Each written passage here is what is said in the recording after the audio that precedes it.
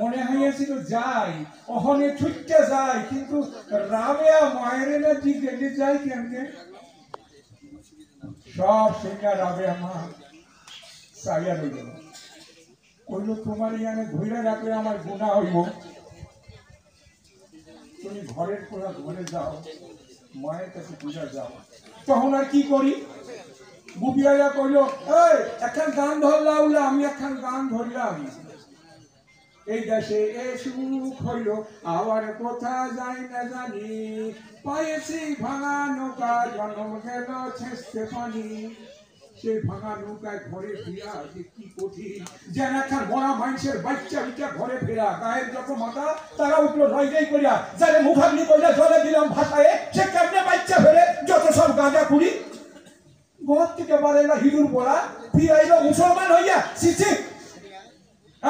এমন মানুষের নাম শোনা পাপ, এমন মানুষের চোহে দেহা পাপ। তখন আল্লাহ তখন ঝড় নামলো বৃষ্টি, ঝমঝম করা বৃষ্টি। বৃষ্টির ঝড়ে কইলাম, বৃষ্টির ছাট আসতেছে গো মা, ও মা, আমি ঘরে যাই। মা কইল, না, ঘরে তো যা হইব না বাপ আমি বললাম, কেন আমার ঘরে যা হইব না কেন? মা কইল ঘরে আমার লক্ষ্মী জনার্দন আছে রাধা কৃষ্ণ আছে। ও মা, তাহলে কি আমার ঘরে যাওয়া হইব না কেন? তোর তো আর ঘরে যাইতে নাই না। কে? তো ভাত খাইছ জবনের হাতে, তোর তো আর যাইতে পারবি না। ও মা জবনের হাতে ভাত খাইলে কি হয়? জবনের হাতে ভাত খাইলে হিঁদুর পোনার জাত চলিয়া যায়। ও মা, জাত কেমনে চলিয়া যায়? শরীর থেকে একটা ফুস করে আবার রয়ে যায়। কথা কইতে কইতে নামলো বৃষ্টি, উঠল ঝড়। আমার ভিজে গেল সারা গা ভনি কামাই কাপুনি গইরা গেল সারা গায়ে। অমা আমি কি এমনি গাড়ি পয়লা থাকুন বাইরে? সারা রাত। মা কইলো, একটু কষ্ট কর বাপ। এ লোকে কইতে আছে তুই যদি বামন ডেকে ফাঁস চিত্তি করস, শান্তি সস্তায়ন করস, তাইলে তোরে ফিরাই যাতে। আমি কইলাম দরকার নাই মা। অমন জাতের আমার দরকার নাই। অমন জাতের দরকার নাই আমার। তোমরা সব জাত লইয়া থাইকো। তোমরা সবাই সুখে শান্তিতে বাচ্চা থাইকো। তখন বাইরেও ঝড়, ভিতরেও ঝড়, তখন আন্ধার চরাচর জুড়ে আন্ধার, সেই আন্ধারে আমার প্রাণের মানুষ আমার ভিতরের মানুষ বাইরে আইলো বাইরে। সে কুমারখালীর লাউল লাউ না, সে হিন্দুও না, সে মুসলমানও না। সে একজন ফকির। মেঘের পানে দুহাত তুলিয়া সে যখন গান ধরলো, তার গানের তালে নাচা উঠল আকাশ। তার গানের সুরে গাইয়া উঠল আকাশ। কেউ মালা কেহ তসবি গলে তাইতে কি জাত ভিন্ন বলে? কেউ মালা কেহ তসবি গলে তাইতে কি জাত ভিন্ন বলে? যাওয়া কিংবা আসার বেলায়, যাওয়া কিংবা আসার বেলায়, জাতের চিহ্ন নয় কারে। সব লোকে কহে লাহালন কি জাত সংসারে? সব লোকে কহে লাহালন কি সব লোকে কহে লাহালন কি সংসারে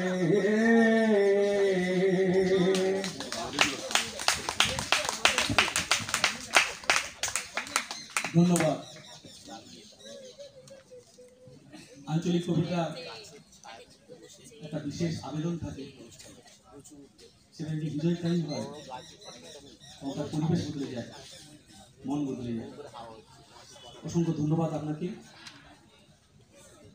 এখন আমরা একটা গান শুনব শেয়ার আউট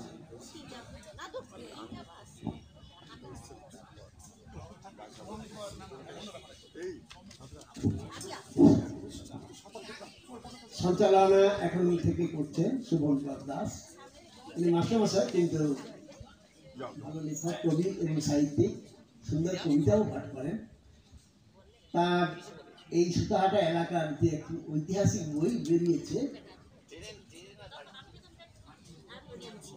মাটির মাটি মাখা মহাপ্রাণ।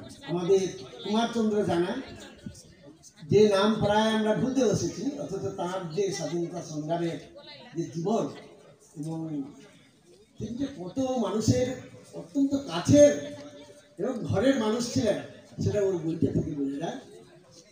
কাছের মানুষ মাটির মানুষ, সেই কুমারচন্দ্র জানার উপরে সুন্দর বইটা।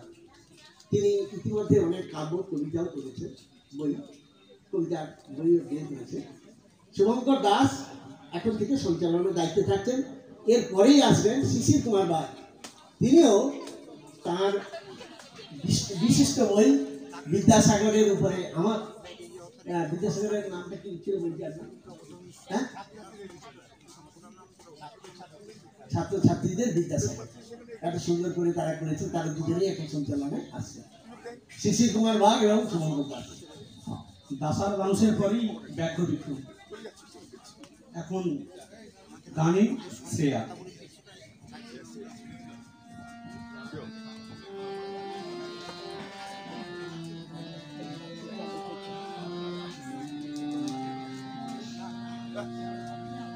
বিপদে মোরে রক্ষা করো, এ নহে মোর প্রার্থনা। বিপদে আমি না যেন করি ভয়। দুঃখ, তাপে ব্যথিত চিতে নাই। এটি পরে চাষি, সৎসঙ্গ পাইলেন সৎসঙ্গ পাইয়া চাষি জানিতে পারিলেন, মা ভবতারিণী।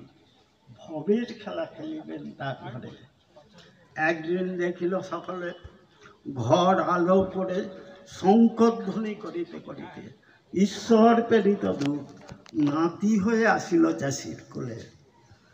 আনন্দিত হইয়া চাষি গোদাময়রা দোকান হইতে জিলাপি আনাইল, মন ভরে সেই দিন সকলকে খাইল।